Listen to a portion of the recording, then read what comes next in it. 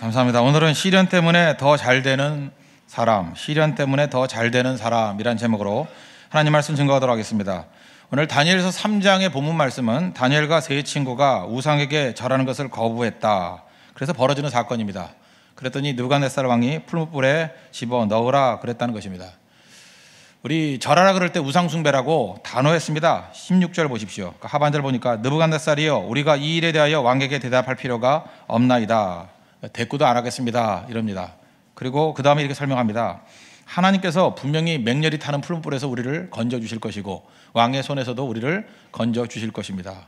한 걸음 더 나아가서 18절 보니까 그렇게 하지 아니하실지라도 그리 아니하실지라도죠. 왕이여 우리가 왕의 신들을 섬기지도 아니하고 왕이 세우신 금신상에게 절하지도 아니할 줄을 아옵소서 통과해 버렸다는 것입니다. 단호한 신앙입니다. 이 신앙 하나님께서 이것을 귀하게 여기셨다는 것입니다. 여러분 한번 생각해 보죠. 성경은 복에 관한 얘기를 많이 합니다. 누가 복 있는 사람입니까? 복 받기를 원하죠. 하나님 복은 항상 우리에게 임합니다. 근데 누가 복 있는 사람인가? 사람들이 많은 사람이 복을 추구합니다. 핵심은 이겁니다. 복 있는 사람은 복을 빼앗기지 않는 사람입니다. 하나님께서 우리에게 복을 항상 주시는데 대부분의 사람들이 복을 빼앗깁니다. 어떤 사람은 돈은 빼앗겨도 괜찮습니다. 근데 복은 빼앗기면 안 됩니다. 건강은 빼앗겨도 괜찮습니다. 그러나 복은 빼앗기면 안 된다는 거예요. 그래서 누가 복 있는 사람인가 성경을 보십시오. 복을 빼앗기지 않는 사람이에요. 그럼 똑같은 논리로 누가 믿음 있는 사람입니까? 믿음 있는 사람은 믿음을 빼앗기지 않는 사람입니다. 믿음은 귀한 것이기 때문에 마귀가 이 모양 저 모양으로 빼앗아 가려 그런다는 것입니다. 어떤 때는 믿음 안에서 넘어지게 만들기도 하고 믿음을 의심하게 만들기도 하고 믿음을 포기하게 만들기도 하고 여러분 믿음을 갖고 있는 것을 끝까지 유지한다는 게 쉬운 게 아닙니다. 왜 그러냐? 마귀가 가만 안 두기 때문에 그렇습니다. 믿음을 뿌리채 뒤흔드는 그런 시도가 있다는 것입니다. 누가 믿음의 사람입니까? 믿음을 빼앗기지 않는 사람. 오늘 이 다니엘의 세 친구들의 믿음을 보면 이들은 믿음을 빼앗기지 않는 사람입니다. 뭐라고 얘기해요? 믿음을 흔들 만한 요소들을 쭉 설명하잖아요. 하나님 분명히 붙들어 주신다고. 불시험 이길 수 있다고. 그러나 마지막에 뭐라 그래요? 그렇게 아니하실지라도 이건 무슨 얘기입니까? 하나님께서 아무 응답이 없다 할지라도 나는 포기 안 합니다. 절대로 믿음 뺏기지 않겠다는 표현 아닙니까? 이런 사람은 항상 승리할 수 있다라는 것입니다. 우리 인생 가운데도 복을 빼앗기지 않는 인생, 특별히 믿음을 빼앗기지 아니하는 하나님의 거룩한 아, 종들 되길 바랍니다. 화가 났던 느부갓네살이 이렇게 얘기하죠. 평소보다 불을 일곱 배나 더 하라. 그래서 불을 집어 넣으려 갔던 사람이 타 죽을 정도로 아주 뜨거웠다는 것입니다. 우리 인생 가운데도 우리 삶 가운데도 고난의 불이 있고 시련의 불이 있고 이런 풀무불이 있을 수 있다는 것입니다. 이 극렬하게 타는 시련의 불이 주는 의미가 무엇인가? 오늘 세 가지로 정리하겠습니다. 첫 번째는 아무리 뜨거운 풀무불이 할지라도 우리 성도들을 해할 수 없다라는 거 하나님 보호해 주시기 때문에 첫 번째고 두 번째는 이 시련의 풀무불은 나쁜 것들만 태운다는 것입니다. 좋은 거는 절대로 태울 수 없다는 거예요. 걱정하지 마십시오. 그리고 마지막 세 번째는 시련의 불 가운데 하나님께서 우리와 동행해 주신다는 것입니다. 하나님의 임재가 있다. 그래서 결국 그죠? 이 역설적인 얘기죠. 시련의 불은 우리에게 유익을 준다는 것입니다. 차례대로 살펴보겠습니다. 첫 번째는 성도는 불에 의해서 해받지 않는다는 것입니다. 25절 보십시오. 왕이 또 말하여 이르되 내가 보니 결박되지 아니한 네 사람이 불 가운데로 다니는데 상하지도 아니하였고 그 넷째의 모양은 신들의 아들과 같도다 하고 여기 핵심이 뭡니까? 불 가운데로 다니는데 상하지도 아니하였고 27절 보십시오. 그 뒷부분 보니까 어, 능히 그들의 몸을 해하지 못하였고 머리털도 그을리지 아니하였고 겉옷 빛도 변하지 아니하였고 불탄 냄새도 없었더라. 하나님이 보호해 주셨다라는 것입니다. 성도가 시련의 불 가운데 있을 때 하나님이 놔두지 않습니다. 항상 보호해 주신다는 것입니다. 우리 지난 주간에 수술을 받았던 집사님이 계십니다. 교통사고 후유증으로 말미암아 복 디스크가 있었습니다. 문홍준 집사님이라고. 이 집사님께서는 어, 새벽기도 헌신하겠습니다. 다짐하고 난 다음에 뭐 수년 동안 변함없이 그 약한 몸을 이끌고 헌신하는 분입니다. 제가 볼 때 믿음의 이런 결단, 결의 그러면 이 문집사님만큼 대단, 대단한 분도 없다고 생각합니다. 직업이 원래 택시 운전사셨는데 택시를 뽑은 지 일주일도 안 됐습니다. 근데 이게 젊은 애들이 아마 부잣집 아들이었던가 보죠. BMW 뭐 좀 큰 건가 보다. 200km로 달려왔대요. 또 그것도 자기 말로 그러더래요. 애들 순진한 애들이요. 200km로 달렸는데 괜찮으세요? 그러더라는 거예요. 예, 박았는데 역시 차가 좋긴 좋은가 봐요. 그 차는 멀쩡한데 그 택시가 불이 났습니다. 그 집사님 말씀이 그래요. 자기 쪽에 문이 열리지 않았으면 타 죽었다고. 이게 사고 나면 문이 안 열리지 않습니까? 근데 마침 그게 열리면서 그냥 떨어져 나왔대요. 그래서 빠져나와서 불타지 않았지, 아니 불탈 뻔했다고. 그러면서 하나님 말씀 붙드는 게 이사에서 43장 2절의 말씀이죠. 내가 물 가운데를 지날 때 내가 너와 함께 할 것이다. 불 가운데로 어, 갈 때에 타지 아니하고 불꽃이 너를 사르지 못하리니 이런 말씀이 있거든요. 또 3, 3절에 보니까 어, 여호와 하나님께서 나는 내 구원자임이니라. I'm your savior. 그래 나는 너의 구원자다. 건져 주시지 않습니까? 우리 성도의 삶이라는 게 그렇습니다. 하나님을 믿고 의지하고 나아갈 때 사실 기적 같은 그 뭐 얘기를 들어보면은 그 말씀 그대로예요. 그냥 1초만 잘못됐어도 또 한순간 뭐 경우의 수가 나오지 않습니까? 근데 그런 모든 것 가운데 하나님 백성들을 지켜주신 그런 고백이 있더라는 것입니다. 이 말씀과 함께 승리하게 되더라는 거예요. 시편 23편 4절도 우리 많이 암송하지 않습니까? 내가 사망의 음침한 골짜기를 다닐지라도 해를 두려워하지 않을 것은 주께서 나와 함께 하심이라. 주의 막대기와 지팡이가 나를 안위하신다. 이런 말씀이 나오지 않습니까? 사망의 음침한 골짜기를 지나간답니다. 우리의 모든 고난은 지나가는 겁니다. 주님께서 함께 동행하면서 지나가는 거예요. 그래서 시련의 불이라는 게 계속 있는 게 아니라 시련의 불 가운데 평생 살라가 아니라는 거예요. 지나간다. 시련의 불은 터널과 같다 그랬죠.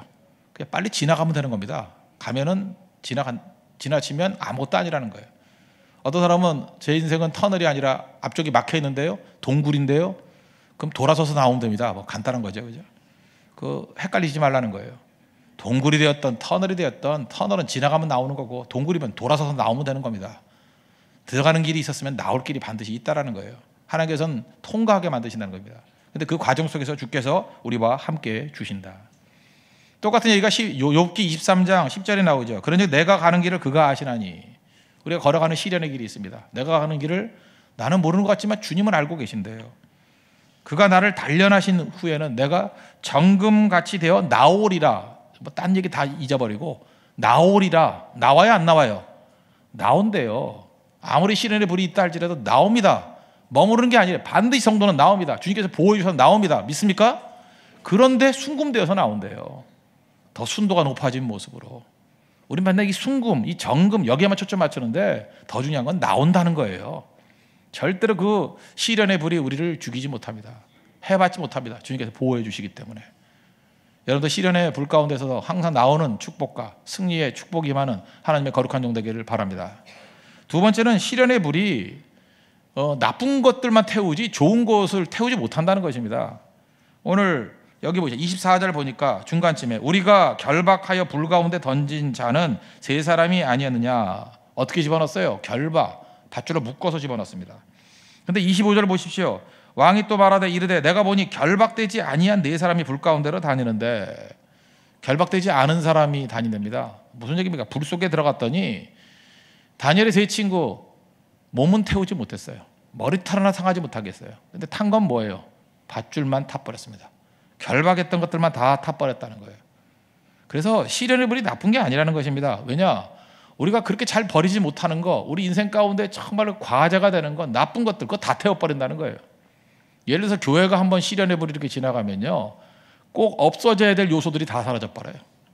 그리고 남아 있어야 될 조금 믿음과 소망과 사랑 이런 건 다 남아 있고 시기, 질투, 미움 이런 것도 다 사라져 버려요. 참 묘하죠. 나쁜 건 다 사라진다는 거예요. 우리 가정도 마찬가지입니다. 가정의 시련의 불이 확 지나가 버리면 가정 가운데 있던 불화, 갈등, 오해 이런 건 다 사라져 버려요. 그리고 사랑과 믿음, 충성 이런 것들이 남는다는 것입니다. 그래서 시련의 불은 나쁜 게 아니라는 거예요. 결박이 풀어진다니까요. 우리 많은 사람들이 결박 가운데 있지 않습니까? 쉽게 못 버리는 게 많습니다. 뭐 오만함, 뭐 자랑함, 뭐 칭찬 좋아함, 교만함 이렇게 얼마나 많습니까? 잘 안 되잖아요, 그게. 근데 시련의 불 속에 들어가면 그게 다 깨져 버린다는 거예요. 겸손해지고요. 기도가 깊어지고요. 하나님 앞에 자기 자신을 깰 줄 알고. 그렇지만 좋은 거 믿음은 더 순도 높아진다니까요. 순금같이 나옵니다. 베드로전서 1장 7절 보니까 너희 믿음의 확실함은 불로 연단하여도 없어질 금보다 더 귀하여 그랬잖아요. 믿음은 불로 연단하보다 연단하는 것보다 더 귀하답니다. 연단된다는 거죠. 그래서 믿음 같은 거는 시련의 불을 통과하면 더 좋아지고 그리고 우리 인생 가운데 죄악이라든지 또는 이렇게 시기, 질투 또 어, 누추한 모든 것들은 결박과 함께 다 타서 없어진다는 것입니다. 그래서 우리 인생 가운데도 항상 하나님께서 이렇게 시련의 불을 통과하게 만듭니다. 그래야 가짜가 사라져요. 진짜가 남아야죠. 진짜가. 그렇죠. 그래서 유익한 것만 남는다는 것입니다. 똑같은 맥락의 말씀이 야고보서 1장 2절부터 나오죠. 내 형제들아 여러 가지 시험을 당하거든 온전히 기쁘게 여기라. 아, 시험 당하는데 왜 기쁘게 여깁니까? 해석을 해주잖아요. 이는 너희 믿음의 시련이 인내를 만들어낸 줄 너희가 알미라. 인내, 인내가 참 중요한 건데 인내는 믿음의 시련 속에서만 나온다는 거예요. 인내를 배운다. 인내를 온전히 이루라. 이는 너희를 온전하고 구비하여 조금도 부족함이 없게 하려 함이라. 그러니까 부족함이 없게 만드는 하나님의 특별한 방법이 무엇입니까? 시험이라는 불구덩이를 통과하게 만드는 거예요. 그럼 인내를 배우고 조금 더 부족함이 없도록 만드시는 하나님의 축복과 은혜가 넘쳐나게 된다는 것입니다. 우리 인간이 자기가 잘 산다, 자기의 어, 삶이 대단하다 이렇게 생각하는 것이 얼마나 제한적인지 아십니까? 얼마 전에 돌아가셨죠 박완서 씨라고 그 작가신데 이분은 참 글을 감칠만 나겠어요. 저는 이런 분들에게 글들을 좀 배우고 싶습니다. 그죠? 어떻게 표현을 이렇게 잘하나?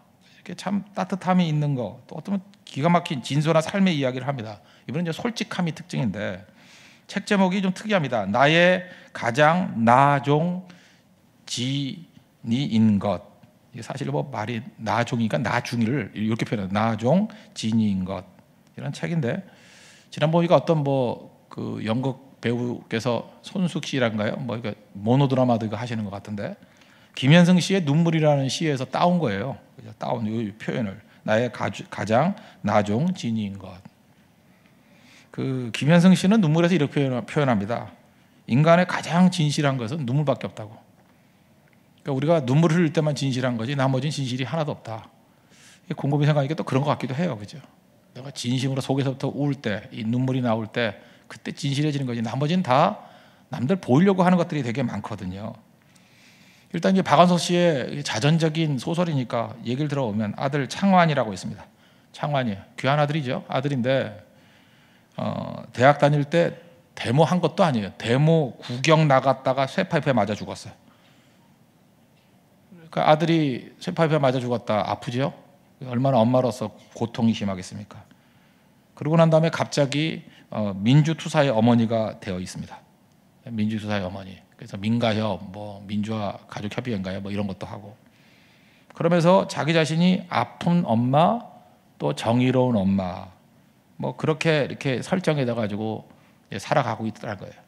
자기 나름대로는 아픔 속에서도 잘 살아간다라고 생각하는 그런 엄마입니다. 그러다가 그 자기 동창을 하나 만나는데 동창이 이렇게 슬슬 피하다가 갑자기 집에 들어가더라는 거예요. 근데 그 집에는 교통사고로 말미암아 온몸이 마비된 아들이 있대요. 아들. 아들이 있는데 이 엄마가 아들을 너무 사랑해서 완전 마비된 거예요. 식물 인간입니다. 그 아들을 돌보기 위해서 인생을 거는 거예요. 엄마가.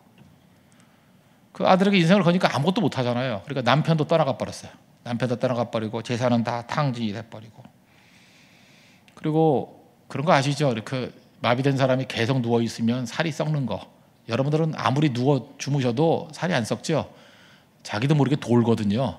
이렇게 돌거든요. 근데 계속해서 눌려 있으면 그게 뭐 한 3시간, 4시간 눌려 있으면 거기 썩기 시작합니다. 구덕이 나고 막 그래요. 욕창이라 그래, 욕창. 그 욕창 생길까 봐 엄마가 옆에서 시간마다 돌려주는 거예요. 이렇게, 이렇게 돌려주고 돌려주고. 그리고 애는 계속 먹으니까 살은 자꾸만 찌고. 그걸 바라보면서 이 박한서 씨가 처음으로 그렇게 생각했다는 거예요. 음, 나보다 더 불행한 사람이 있을 수도 있겠구나. 내 아들도 죽었지만 이게 결코 나의 아픔의 무게보다 가볍다고 생각하기는 힘들다. 그래서 갑자기 동정하는 마음, 위로를 해주고 싶은 마음이 생기더라고요. 나보다 더 어려우니까. 그래서 위로해주고 그 아이에게 손을 대서 이렇게 돌려주려고 욕창 생기지 않게 돌려주는 걸 도와주려고. 그랬더니 그 아이가 소리를 지르면서 그죠? 눈을 부릅뜨고 소리를 막 지르고 괴성을 지르는 거예요. 꽉꽉 소리, 소리 지르더라는 거예요. 그죠? 마비된 애가. 그 이유가 뭔가 그는 엄마의 손길 외에는 어떤 손길도 신뢰하지 않는 것 같더래요. 엄마의 손길만 신뢰하는 거예요. 그러고 난 다음에 그 아들과 그 엄마의 눈빛이 이렇게 부딪히는 걸 봤답니다. 그때 느꼈던 게 뭐냐면 생명의 교감. 어떤 사람을 철저히 신뢰하는 것과 어떤 사람을 철저히 사랑하는 그 교감. 그걸 바라보면서 이런 생각을 했다는 거예요. 부러웠다. 그리고 슬펐다. 나는 이제까지 아픔을 아는 여자, 아픔을 아는 어머니, 그리고 정의로운 어머니 같이 살았지만 실제로는 사랑의 경험이 하나도 없었다는 거예요. 사랑 없이 한 거죠. 고린도전서 13장 표현입니다. 사랑 없이 뛰어다녔다는 거예요. 사랑 없으면 교감이 없습니다. 주고받는 게 없어요. 피폐해진 거죠. 결국은 자기 의만 남는 거고. 그러고 난 다음에 자기 인생이 보이기 시작하더라는 거예요. 그리고 자기 방에서 옆에 보니까 장미목 장롱이 하나 보이더라는 거예요. 장미목 장롱인데 이분 표현이 래 뜨악. 뜨악 하면서 저게 뭐라고 그런 생각이 들더라는 거예요. 뜨악이란 표현 참 인상적이에요. 뜨악. 그 장미목 장롱 살려고 적금 부으면서 여자분들 장롱 좋아하는 분이 있었잖아요. 저거 적금 부어가지고 어렵게 어렵게 산 건데 다 쓸모없는 것들에 인생 걸었구나 그런 생각이 들더라는 거예요. 뜨악하는 나를 발견한 거예요. 뜨악하는 나. 이때부터 이 자기보다 더 큰 시련의 모습을 바라보면서 뜨악하는 나 자신을 발견한 거예요. 내가 의로운 자때 의도 아니고 사랑도 없고 인생 뭐 제대로 산 것도 아니고 나를 발견하는 그 순간에 모든 것들이 다 무너져 내리고 올바른 인생을 살아야겠다는 그 정화작용이 나타나기 시작하더라는 것입니다. 이게 시련의 불입니다. 우리 생각 가운데 시련의 불이 없으면 자기 자신 발견 못합니다. 엘리자베스 퀴블러 로스라는 여자분이 계십니다. 이분은 그 죽은 죽는 사람들 그 호스피스라 그러죠. 뭐 죽는 사람들 연구 많이 한 분입니다. 우리 다 죽습니다. 저도 그렇고 여러분도 그렇고 죽기 직전에 사람들이 다 당황한대요. 참 궁금했습니다. 죽기 직전에 당황 왜 당황할까? 병 때문에 뭐 암입니다, 뭐 에이즈입니다, 또 뭐예요? 에볼라입니다, 뭐 이런 이런 거 뭐 죽는 거잖아요. 뭐 그럴 때 당황하느냐? 그 생각보다 그거 아니래요. 그리고 죽음 자체도 아니래요. 그 죽음을 많이 겪었던 이분이 엘리자베스 퀴블러 로스라는 여자분이 하는 얘기가 그 얘기예요. 자기 자신을 모르기 때문에 당황하더래요. 자기 자신을 압니까? 나를 모른다는 나. 내가 누구로 살아와 있는지 모르더라는 거예요. 그 남들에게 맞춰 살았고 그냥 사는 거래 생각 없이. 어, 내가 내가 뭐지? 그때 생각한대요. 어, 내가 뭐였지? 내가 뭐로 살아가고 있지? 남들이 원하는 모습이 아니라 나의 모습, I am이 뭐지? 그리고 당황한다는 거예요, 당황. 그래서 자기는 산 게 아니고 평생이 쇼였다라는 생각을 갖고 막 괴로워하다가 가는 경우가 많더라는 것입니다. 저는 뭘 믿습니까? 시련의 불을 통과한 나를 발견해요. 껍데기 다 사라져버리고 결박 다 사라져버리고 나를 발견한다는 것입니다. 많은 사람들은요 이렇게 생각합니다. 너의 잘못이 나의 의라고 생각해요. 우리 그러고 살아가요. 지금 많은 사람이 의롭다 그런 사람들 보면 너의 잘못이 나의 의. 너의 잘못은 나의 의가 아닙니다. 의롭게 되려 그러면 하나님 앞에 서 있어야 되잖아요. 십자가 붙들어야 되잖아요. 그렇게 안 나가고 십자가로 나가지 않고요. 주변에 있는 형제 자매들의 허물 찾아 헤매고 있다니까요. 너의 잘못이 나의 의래요. 생각보다 많습니다.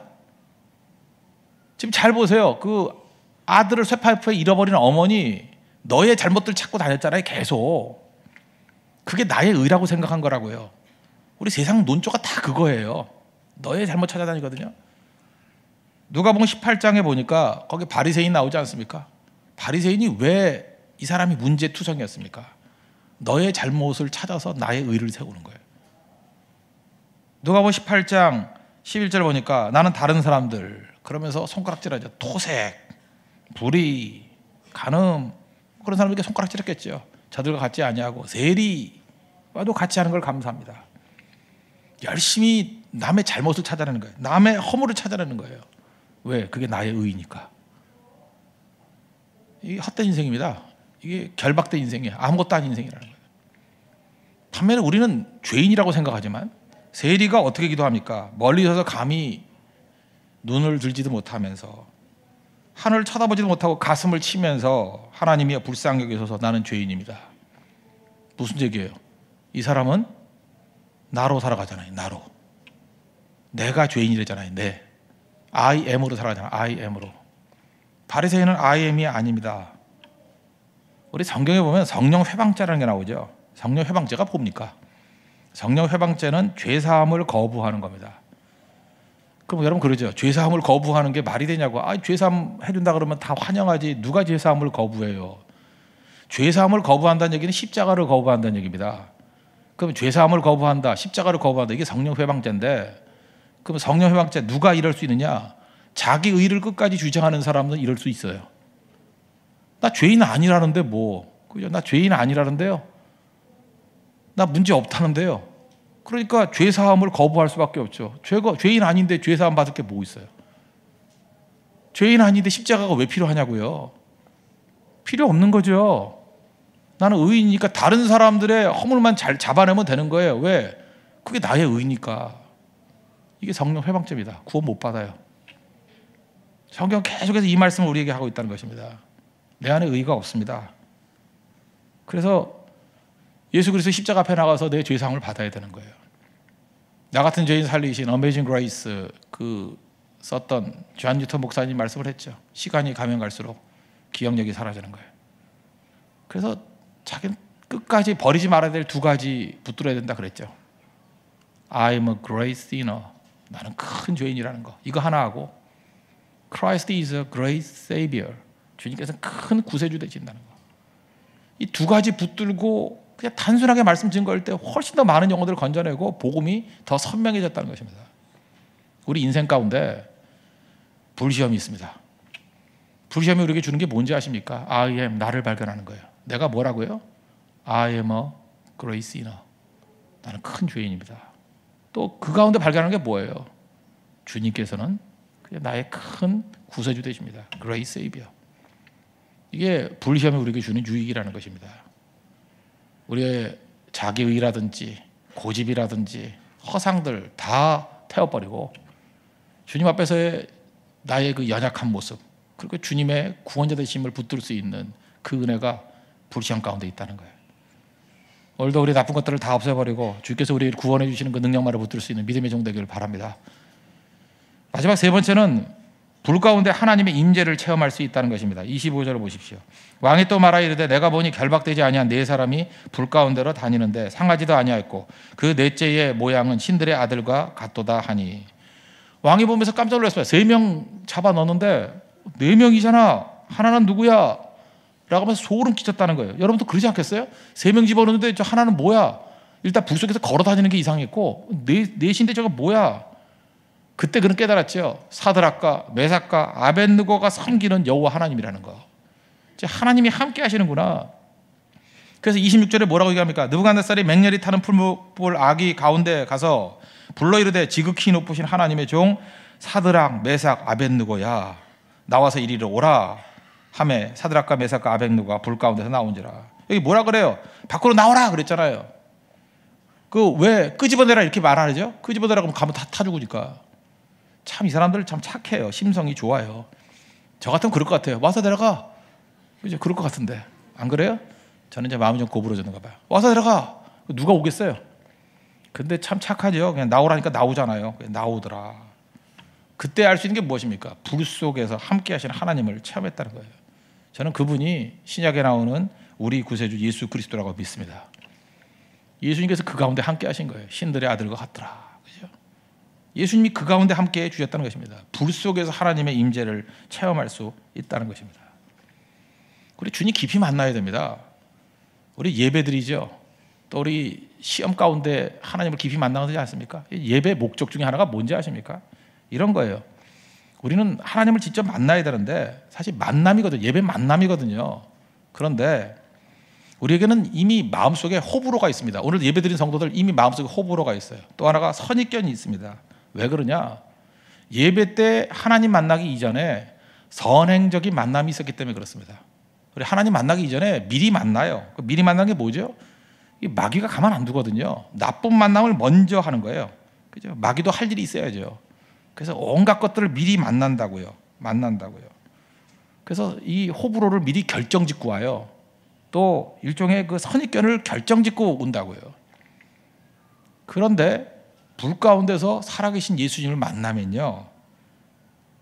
왜곡된 만남 또는 왜곡된 그런 지식들이 상쇄되고 압도돼 버려요. 완전히 다 사라져 버린다고. 그래서 예배가 중요한 겁니다. 살아계신 하나님 만나기 이전에는요, 지식도 다 왜곡된 지식이고요. 우리 경험도 다 왜곡된 경험이고요. 우리 선입견도 다, 이게 다 왜곡된 거예요. 그래서 주님 만나기 이전에 사람들을 보면 다 십자가의 원수들이라고 그게 도움이 안 돼, 도움이. 근데 살아계신 하나님을 만나는 그 순간에 그게 다 상쇄되고 없어져 버린다는 거예요. 그래서 주님 만남이 필요한 거죠. 그래서 교회는 하나님과의 만남이 있어야만 거듭난 교회가 되는 겁니다. 그러지 않아 놓으면요. 이상한 변종이 돼버려 변종이. 또 하나 예배를 통해서 살아계신 하나님을 만나야 되는 이유가 뭔지 아십니까? 우리가 그 하나님을 뭐 이렇게 영원하신 하나님 그런데 잘 이해가 안 되면 그냥 수명이 긴 하나님 그럼 되겠어요? 영원히 잘 모르니까 수명이 길지요. 하나님 수명이 참 기신 분 아니에요. 그냥 그렇게 생각합시다. 영원히 잘 안 온다 그러면 그러면 우리가 그렇게도 추구하는 게 있죠. 사랑, 행복, 아름다움. 근데 사랑 짧습니다. 사랑 얼마 안 가요. 뭐 젊은이들 100일도 안 가요. 그죠? 행복, 행복 뭐 세옹지만 아시잖아요. 행복한 게 곧 불행이고 불행이 행복이고 얼마 안 가요. 아름다움 뭐볼 것도 없죠. 작년에 아름다운데 지금 아닌 사람 많잖아요. 그런데 하나님을 만나면요. 하나님을 만나면 수명 긴 사랑을 해요. 왜 하나님 만나야 되는지 아시겠죠? 하나님 만나면 수명이 길어요. 수명 긴 사랑을 하고 하나님 만나면 수명 긴 행복이 임하고요. 하나님 만나면 수명 긴 아름다움이 있어요. 그래서 하나님 없는 사람들을 보면은 무슨 성냥불 같아요. 잠깐 아름다웠는데 곧 추해져요. 잠깐 사랑했는데 사랑도 아니야 이건. 잠깐 행복했는데 그 다음에 쓴맛이 더 길어요. 그래서 하나님 만나야 돼요. 하나님 예배 가운데 못 만나니까 그죠? 우리 인생 가운데 어떤 때는 우리를 억지로 주님 만나게 하려고 불 가운데 이끄시는 거예요. 불 가운데서 주님 만나는 겁니다. 그래서 우리 삶 가운데 진정한 수명 긴 사랑을 하게 만들고 수명 긴 행복을 누리게 만들고 수명 긴 아름다움을 갖게 만들고 또 우리가 불 가운데 만나지 않으면 사라지지 않는 그 선행적인 만남의 폐해들 그걸 다 불태워 없애 버린다는 거예요. 그게 주님 만나는 능력입니다. 또 한 가지 더 말씀드리면 주님 만나면요. 저는 옛날에 이제 못 살 때 살았던 사람이니까 학교에는 옛날에 그 조개탄이라는 거 했어요. 겨울에 아세요? 이렇게 조개같이 생긴 탄들. 뭐 연세를 보시니까 되게 아실 것 같은데 그거 몇 시간 지나면 막 빨개져요. 빨개지는데 너무 재밌어요. 종이를 갖다 대면 종이도 불이 확 붙어버리고요. 가끔마다 플라스틱 집어넣으면 플라스틱 불이 확 붙어버리고 뭘 갖다 대든 간에 조개탕 같이 만들어버려요. 전 그게 진정한 하나님의 불이라고 생각해요. 조개탕 같은 하나님께서는 뜨거움 있는 하나님은요 그 옆에 가면 다 그렇게 돼버려요. 하나님 만나야 우리가 불이 붙습니다. 조개탕 하나님 만나면요 미지근할 수 없어요. 불타는 인생이 된다는 불타는 인생, 성령 충만한 인생 된다는 것입니다. 그 세상 변화시키는 거예요. 교회에서도 보면 초신자들이 전도 더 잘해요. 왜 잘하는지 아십니까? 불이기 때문에. 불 대신 하나님, 조개탄 대신 하나님 만났기 때문에 불타서 전도해요. 근데 오래 오래되고 하나님 교제 없던 사람들 특징이 뭔지 알아요? 전도도 못 해요. 불이 다 꺼져 있어가지고. 그 전도 누가 하냐 했더니 전도사님이 하세요. 맨날 그래요. 그러니까, 그러니까 전도사지 그러면서. 이게 뭐예요? 알라치 못하는 늙은 닭에 늙은 닭들 아무것도 아니라고. 그 치킨 가게 보내야 돼요. 그 아무것도 아니라고. 다시금 여러분들 살아계신 하나님 만나서 여러분 가슴 속에 불이 붙는 하나님의 거룩한 종 되길 바랍니다. 그러므로 이 땅에서 최고의 전도 전략이 뭔지 아십니까? 담대히 믿고 순종하며 나아가는 거예요. 그럼 그 불 가운데 하나님께서 임재해 주시고 또 우리 가운데 있는 모든 속박들, 결박들 다 없애 주시고요. 그리고 무엇보다도 우리를 보호해 주셔요. 그래서 교회는 믿음 붙들고 우리 앞에 어떤 장애가 있다 할지라도 풀풀 통과하면 됩니다. 통과하면 믿음은 금 같은 순금 같은 믿음 돼버리고 그죠? 거지 같은 것들은 다 없어져서 다 불타서 결박은 다 사라져 없어져 버리고 머리털 하나 상하지 않아요. 난 이게 제일 마음에 와닿아요. 머리털 하나 상하지 않고 붙들어 주신다고. 그래서 은혜 가운데 나오게 된다는 것입니다. 여러분 삶 가운데 혹시 이런 시련의 불, 풀불이 있습니까? 두려워하지 마십시오. 주와 함께 통과하십시오. 그럴 때 여러분 삶의 모든 것들이 풍성해지는 은혜 역사가 나타나게 될 것입니다. 우리 모든 일에 뛰어나신 예수 그리스도 이름 붙들고 모든 시련의 불을 이길 수 있는 믿음의 정되기를 축원합니다. 예, 모두 자리에 세련하겠습니다. 모든 힘에 뛰어난 이름 찬양하겠습니다.